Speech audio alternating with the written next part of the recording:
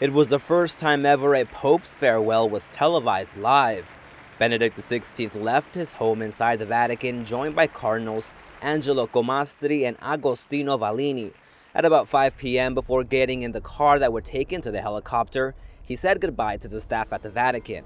At 5.05 p.m., as the bells at St. Peter's Basilica rang out across the square, the helicopter took off towards Castel Gandolfo. The ride took Benedict XVI across the Eternal City, taking a detour along some of the major landmarks like the Colosseum and the Basilica of St. John Lateran. Upon arriving at Castel Gandolfo, the Pope was welcomed by Cardinal Giuseppe Bertello, the Bishop of Albano, as well as the town mayor. A small caravan took him to the Apostolic Palace at Castel Gandolfo at about 5.30 p.m. Thousands of pilgrims donned with banners, thank you signs, and flags cheered on the last few words of Benedict XVI as Pope. Sono semplicemente un pellegrino che inizia l'ultima tappa del suo pellegrinaggio in questa terra. Ma vorrei ancora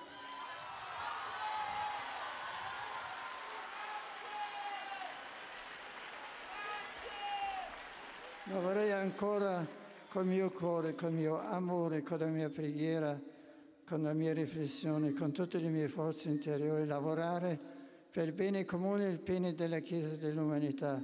E mi sento molto appoggiato dalla vostra simpatia. Andiamo avanti insieme col Signore per il bene della Chiesa e del mondo. Grazie, vi importo adesso.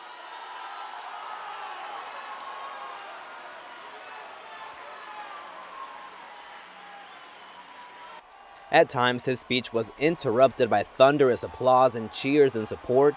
After giving them his blessing, Benedict XVI said goodbye. It was his last appearance as Pope. He also said goodbye through Twitter, saying, quote, Thank you for your love and support. May you always experience the joy that comes from putting Christ at the center of your lives.